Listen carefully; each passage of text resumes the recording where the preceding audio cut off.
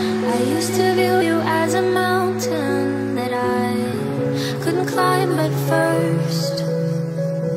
But I've only stumbled over diamonds, and I no longer fear the worst.